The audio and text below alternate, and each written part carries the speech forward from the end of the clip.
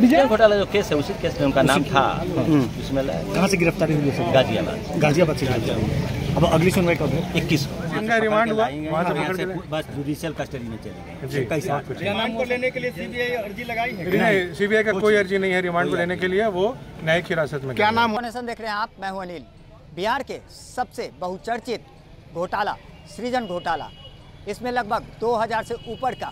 घोटाला बताया जाता है, जिसमें कि मुख्य आरोपी रजनी प्रिया बताई जा रही हैं, जिनको सीबीआई की टीम ने यूपी के गाजियाबाद के साहिबाबाद से गिरफ़्तार कर आज पटना के सिविल कोर्ट में लाया था, जहाँ सीबीआई की विशेष अदालत में उन्हें पेश किया गया।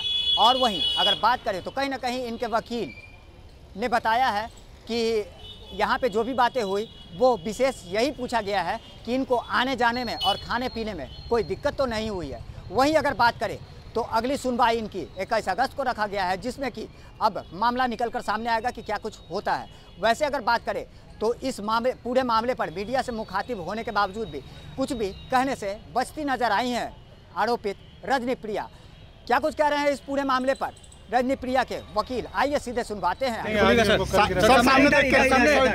जैसे कि गिरफ़्तार इधर कल वो गिरफ़्तार किया गया था आज प्रोड्यूस किया गया है। न्यायिक हिरासत में गई है। इक्कीस आठ को इक्कीस आठ को उसमें अगला डेट है। जिस आरसी में अरेस्ट किया गया है उसका नंबर है स्पेशल बारह बीस। स्पेशल बारह बीस आर सी चौदह ए बटा सत्रह। किस आरोप में इनको लाया गया? अभी तो आरोप क्या है सर हमसे बेहतर आप लोग समझ रहे हैं। मेरा हम लोग को तो बहुचर्चित घोटाला मामला नहीं बहुत इसीलिए हमसे बेहतर तो हम लोग खुद आपके द्वारा जानते हैं कि क्या मामला है।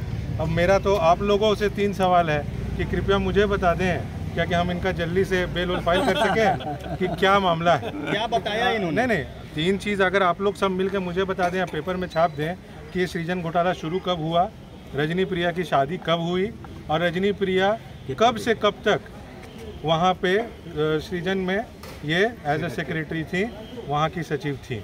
तीन चीज़ का जवाब दे दीजिए। मेरे लिए बहुत मेहरबानी होगा हम लोग के लिए वकील भाइयों के लिए उनका बेल तो करने के लिए। ना कितने लोगों पे नाम सर आज क्या हुआ? हमें अभी एक और कुछ जानकारी आज क्या हुआ? आज क्या हुआ? आज बस बस इनका रिमांड हुआ, वहाँ से पकड़ बस जुडिशियल कस्टडी में चले गए। नाम को लेने के लिए सीबीआई अर्जी लगाई है? नहीं सीबीआई का कोई अर्जी नहीं है रिमांड को लेने के लिए वो न्यायिक हिरासत में क्या नाम किया गया है? बात बात किया गया? क्या कुछ अंदर में बात अंदर कोई बात नहीं। बस इक्कीस आठ के लिए और कोई बात नहीं। बस रास्ते में तंग किया गया कि नहीं?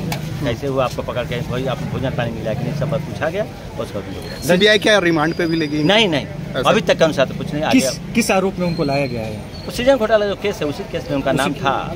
उसमें लाया कहाँ से गिरफ्तारी हुई है गाजियाबाद गाजियाबाद से। गिरफ्तारी अब अगली सुनवाई कब है? इक्कीस इक्कीस तारीख को क्या नाम होगा सर अरविंद तिवारी।